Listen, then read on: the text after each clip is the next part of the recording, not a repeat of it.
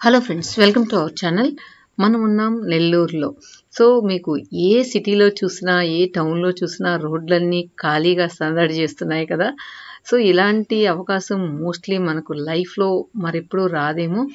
కానీ చాలా బాగుంది. చూస్తూ ఉంటే రోడ్లు హాయిగా వెహికల్స్ ఎక్కువ లేకుండా మనం కనీసం ఆ రోడ్ సైడ్ నడవాలన్నా కూడా కష్టంగా ఉంటుందన్నమాట. ఫుల్ వెహికల్స్తో ఫుల్ పొల్యూషన్తో సో ఇలా పొల్యూషన్ లేని రోడ్లో నడవాలంటే చాలా బాగుంది. సో నేనైతే నెల్లూరులో మా సిస్టర్స్ ఇద్దరు అక్కడే ఉన్నారు. సో వాళ్ళ ఇంటికి వెళ్తున్నాం మనం ఇప్పుడు సో వెళ్ళాక అక్కడ మంచి రెసిపీస్ కొన్ని చూపిస్తాను. తర్వాత మనం ఎక్కడెక్కడ వెళ్ళాము? మీతో షేర్ చేస్తాను. చూసారా ఇక్కడ కూడా కూరగాయలన్నీ బయట వస్తే వాళ్ళు కూడా శానిటైజ్ చేసుకొని కూరగాయలు తీసుకుంటున్నారు.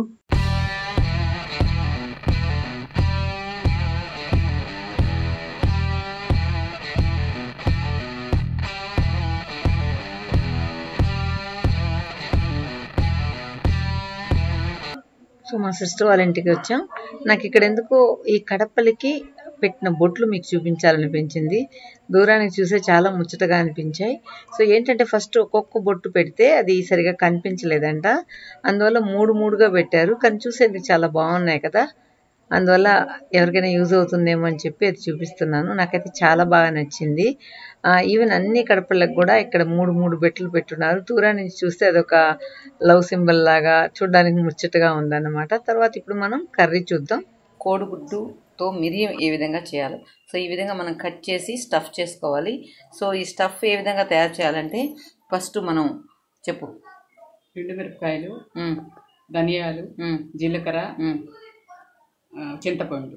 సో ఈ నాలుగు ఐటమ్స్ వేసి ఈ విధంగా పేస్ట్ లాగా చేసుకొని ఈ విధంగా స్టఫ్ చేసుకోవాలి. దానికంటే ముందు మనం ఆనియన్ టమాటా అవన్నీ కూడా మెత్తగా అయ్యేంత వరకు బాగా పేస్ట్ చేసుకొని ఈ గుజ్జు ఇందులో వేయాలి. సో ఈ గుజ్జు కూడా కొద్దిగా పచ్చివాసన పోయేంత వరకు ఫ్రై చేసుకోవాలి.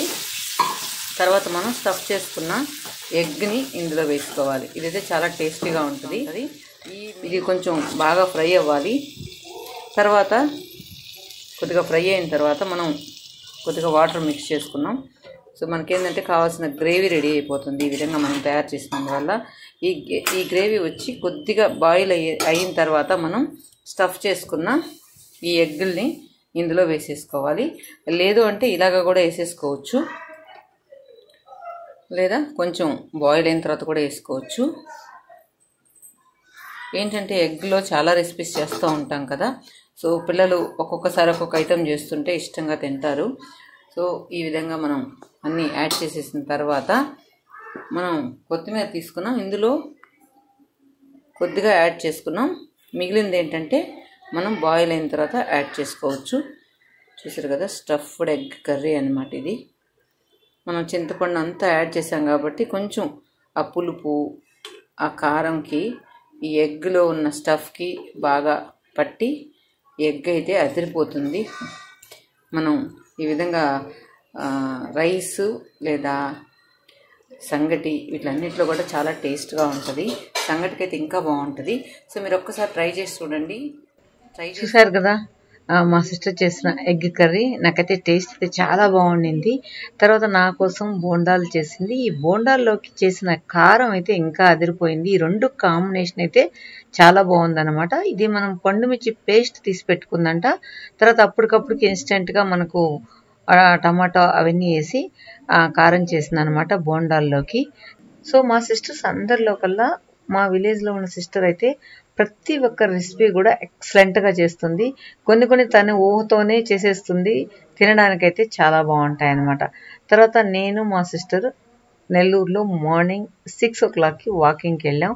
సో ఇద్దరం వాకింగ్కి వెళ్ళి అలాగే చిన్న బ్లడ్ టెస్ట్ ఉంటే అక్కడ ఇచ్చేసి వచ్చాం అనమాట బ్లడ్ టెస్ట్ అంటే ఏదో అనుకుంటారేమో నాకు థైరాయిడ్ టెస్ట్ చేసుకుందామని చెప్పి జస్ట్ అలా నడుచుకుంటూ వెళ్ళాం. వాకింగ్ వాకింగ్ చేసినట్లు ఉంటుంది. అలాగే బ్లడ్ టెస్ట్ చేసుకున్నట్లు ఉంటుంది అని చెప్పి వెళ్ళాం అనమాట నేను మా సిస్టరు. ఇంకా థైరాయిడ్ అంటే మన వ్యూవర్స్లో చాలామంది లాస్ట్ టైం థైరాయిడ్ గురించి చెప్పినప్పుడు చాలా క్వశ్చన్స్ వేశారు కదా. మెయిన్ నేను ఇప్పుడు బ్లడ్ టెస్ట్ చేసుకున్న కారణం ఏంటి అంటే ఆయుర్వేద మెడిసిన్లో బాగా తగ్గిందని నాకు బెంగళూరులో ఉంది కదా అక్క. అక్క చెప్పింది ఈ రిపోర్ట్ పంపిస్తే వాళ్ళు మెడిసిన్ ఇస్తారని చెప్పింది అనమాట సో అందువల్ల ఈ మెడిసిన్ మింగేదానికంటే కూడా ఆయుర్వేదం మెడిసిన్ మింగితే బాగుంటుంది కదా. అతనికి క్యూర్ అయింది అని కూడా చెప్పింది అనమాట సో దానికోసం నేను బ్లడ్ టెస్ట్ చేసుకోవడానికి వెళ్ళాను. తర్వాత ఇంకా మనం ఈ రోడ్లోకంతా రోడ్లంతా చూసినట్లయితే ఈ నెల్లూరులో ఇది మెయిన్ రోడ్ అన్నమాట. ఎప్పుడు కిత్త కిత్తలాడిపోతూ ఉంటుంది. ఈవెన్ ఆ షాప్స్ కూడా ఎక్కడా ఖాళీ ఉండవు. అలాంటివి ఇప్పుడు మనం చూస్తున్నాం ఈ విధంగా. తర్వాత నానమ్మ కోసం ఇది ఒక సర్జికల్ అనే షాప్ ఉందన్నమాట. దాని దగ్గరికి వెళ్ళాం. ఒక చైర్ నానమ్మ కోసం తీసుకోవడానికి. సో అదంతా తీసేసుకున్న తర్వాత మేము ఫ్రూట్ షాప్కి వెళ్ళాం. సో ఫ్రూట్స్ కూడా మా సిస్టర్ తీసుకుంటూ ఉంది. సో ఇవన్నీ తీసుకొని మేము మా విలేజ్కి బయలుదేరాం. సో దారిలో కొన్ని బిల్డింగ్స్ చాలా బాగున్నాయి. చూసారా? లుక్ చాలా బాగుంది కదా. సో ఇలాంటివన్నీ దారిలో మీకు చూపిస్తూ వెళ్ళిపోదాం. వచ్చేయండి మా ఊరికి వెళ్ళడానికి. సో ఈ స్ట్రీట్లోనే మా సిస్టర్ వాళ్ళు ఉండేది. చాలా బ్రాడ్గా ఉన్న రోడ్ అనమాట వెహికల్స్ అయితే ఇక్కడ తక్కువే ఉంటాయి నార్మల్ టైంలో కూడా. కానీ ఈ స్ట్రీట్ ఎందుకో నాకు చాలా బాగా నచ్చుతుంది. ఈ ఇక్కడ వచ్చి ఇంకో సిస్టర్ ఉంటుంది. సో ఇద్దరు సిస్టర్స్ ఇక్కడే ఉంటారు. ఆ తర్వాత మేము ఒక ప్రొవిజన్ స్టోర్కి వెళ్ళాం. అక్కడ ఏంటో ఇవంతా న్యూసెన్స్ పానీపూరి షాపు అవన్నీ ఉన్నాయంట ఆ రోడ్లో. సో అవన్నీ పెట్టకూడదు అని చెప్పి వాళ్ళు వార్న్ చేసేసి వెళ్ళిపోతూ ఉన్నారనమాట ఎందుకంటే ఈ కరోనా టైంలో ఇలాంటివన్నీ వద్దు అని చెప్పి తర్వాత మేము వెళ్ళాం. నెల్లూరులో ఉన్న ఒక షాప్కి. సో దీని నేమ్ వచ్చి వెంకటరమణ స్టోర్స్ అనుకుంటా. ఇక్కడ మేము రాగి బిందె చూసాం. కానీ షేప్ అంతా కొంచెం డిఫరెంట్గా ఉంది. చాలా బాగుంది. వాటిలో కొన్ని ఐటమ్స్ ఏవో ఇంటికి కావాల్సిన ఐటమ్స్ కొన్ని తీసుకున్నాను. తర్వాత మా సిస్టర్ వాళ్ళ స్ట్రీట్లో ఈ బిల్డింగ్ ఎందుకు నాకు చాలా బాగా నచ్చింది. డిజైన్ చూసారా? ఆ వాల్కున్న పెయింటింగ్స్ అయితే అదిరిపోయాయి. ఇది మొత్తం ఆ స్ట్రీట్ అన్నమాట. తర్వాత మా సిస్టర్ వాళ్ళ ఇంటి దగ్గర ఏంటంటే ఈ సన్నజాజుల చెట్టు చూసారా? కింద నుంచి త్రీ ఫ్లోర్స్ వరకు అల్లుకొని ఉందన్నమాట. సో పువ్వులు కావాలనుకున్న వాళ్ళు ప్రతి ఫ్లోర్లోనూ కోసుకుంటూ పైకి వెళ్ళాలి. తర్వాత మా హన్వి తల్లి ఇది చేసిందంట యూకేజీలో. బాగుంది కదా? చిన్న గణేష్ టెంపుల్ లాగా చేసిందనమాట పక్కనంతా ట్రీస్ పెట్టి. చాలా బాగుంది కదా? తను ఒక వన్ ఇయర్ బ్యాక్ చేసిందంట. కానీ అలాగే పైన అటక మీద పెట్టుకొని ఉంది. నాకెందుకో చాలా బాగా ముచ్చటేసింది అనమాట దీన్ని చూడంగానే. అందుకే పైనంతా కూడా కొంచెం డస్ట్ ఉంది. అలాగ పైన పడేసినందువల్ల. కానీ చూడడానికి చాలా ముచ్చటగా ఉంది కదా. చిన్నపిల్లలు ఈ విధంగా చేయడం అనేది గ్రేట్ అని చెప్పొచ్చు. వాళ్ళ థాట్కి అది. ఎంత మనం ఐడియా ఇచ్చినా వాళ్ళకి చేయాలనే థాట్ ఉండాలి కదా. తర్వాత ఇక్కడ మన బుడ్డోడు కీస్ ఎత్తుకొని రెడీ అయిపోయాడు ఊరు వెళ్ళడానికి. ఈ బుడ్డోడికి కూడా విలేజ్ అంటే చాలా ఇష్టం. ఎందుకంటే అక్కడ బాగా ఫ్రీగా ఆడుకోవచ్చు మట్లో ఆడుకోవచ్చు వాడి ఇష్టం అన్నమాట. అందువల్ల ముందే రెడీ అయిపోయాడు. తను వచ్చి వాళ్ళ మదరు ఈ అమ్మాయి నా లాస్ట్ చెల్లి. నానమ్మ ఉంటుంది కదా ఆ ఇంట్లో ఉంటుంది. సో వీళ్ళతోనే నానమ్మ ఉంటుందన్నమాట. ఇక మన ప్రణవ్ వచ్చి బండిని ఫుల్గా స్నానం చేపించేస్తున్నాడు ఇక మొత్తం షాంపూలు ఏదేదో వేసి మొత్తానికి దాన్ని మెరిపిస్తున్నాడు అనమాట ఇప్పుడు మనం ఆ, కిచెన్లోకి వెళ్ళిపోదాం. సో ఒక రెసిపీ చూపిస్తాను మీకు. ఈరోజు మనం సన్న మామిడికాయ మొక్కలు సన్న సన్నగా తరుక్కున్నాం. సో మనం మామిడికాయ పచ్చడి తయారు చేసుకోబోతున్నాం. చాలా ఈజీగా. సో మనం ఫస్ట్ ఈ విధంగా తయారు చేసి రెడీ చేసి పెట్టుకున్నాం కదా. సో దీనికి కావాల్సిన ఇంగ్రీడియంట్స్ అన్నీ కూడా రెడీ చేసి పెట్టుకున్నాను. ఎండుమిర్చి ఇంగువ.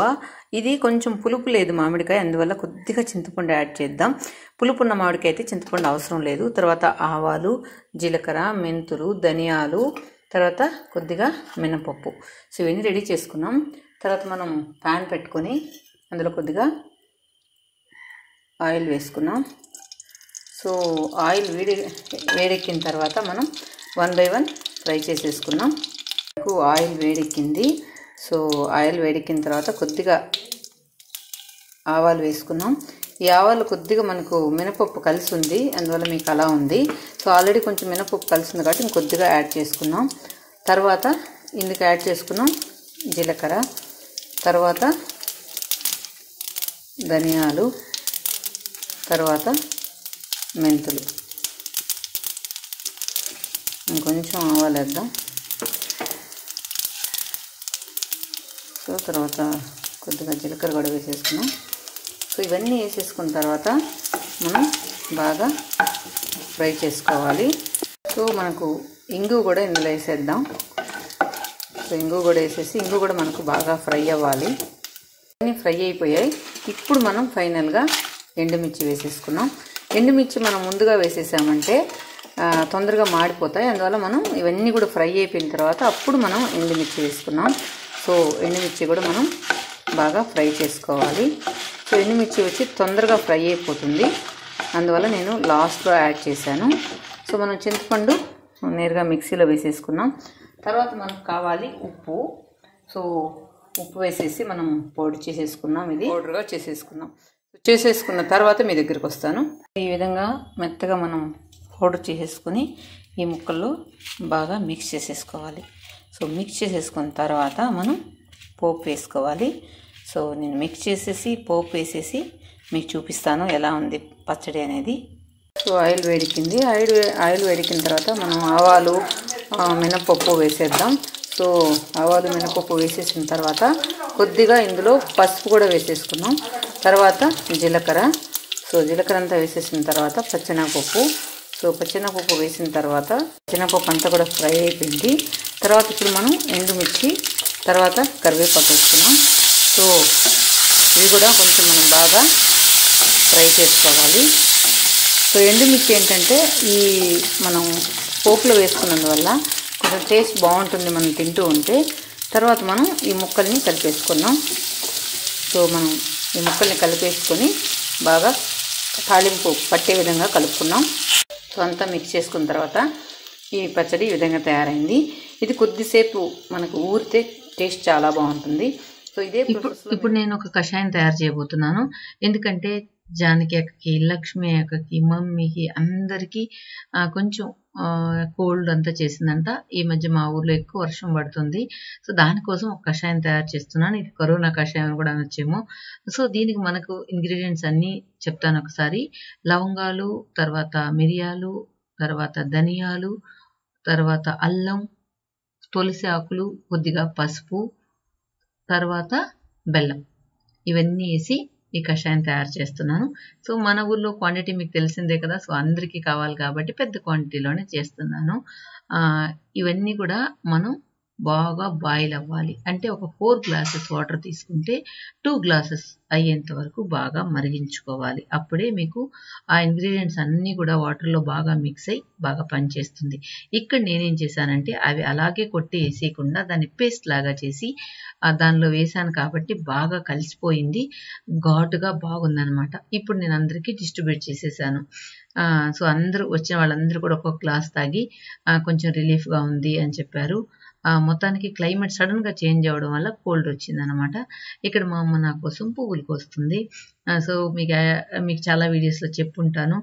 మా ఇంట్లో జాజులు తర్వాత మళ్ళీ పువ్వులు బాగా పూస్తాయి. బాగా అంటే ఎక్కువేం కాదు కానీ నాకు సరిపోతాయి. నాకు వాసన లేని పువ్వులు అస్సలు నేను పెట్టుకోను.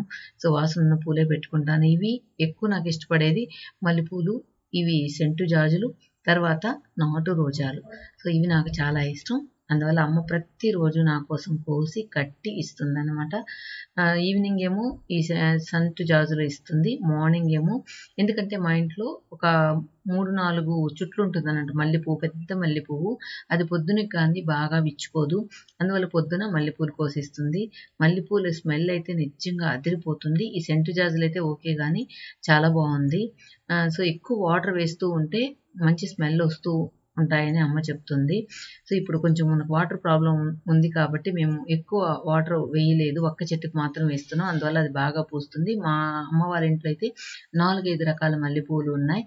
సో అమ్మ కడుతూ ఉంటే లక్ష్మి అక్క తీసుకొని తను కడుతుంది. లక్ష్మి అక్క పువ్వులు బాగా కడుతుంది. అమ్మకి అంత బాగా రాదు. కడుతుంది కానీ అంత బాగా రాదు. సో లక్ష్మి యొక్క కట్టిన పువ్వులు ఎలా ఉన్నాయో చూపిస్తాను మీకు. ఆ, చూసారా? మొత్తం చెండులాగా కట్టేస్తుంది. ఆ ఆ చెండు మీకు లాస్ట్లో చూపిస్తాను. ఇప్పుడు కట్టే విధానం ఎలా ఉందో మీరు చూడండి.